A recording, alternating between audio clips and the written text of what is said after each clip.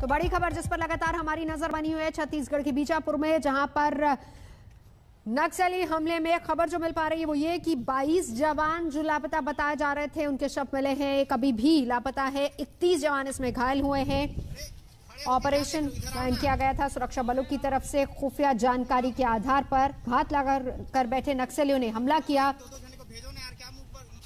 दो अप्रैल को कोबरा सीआरपीएफ, एसटीएफ और डीआरजी ने एक ज्वाइंट ऑपरेशन शुरू किया था और कल करीब पाँच घंटे, पाँच से छह घंटे तक शनिवार शाम चार बजे तक ये पूरी मुठभेड़ वहाँ पर चलती रही।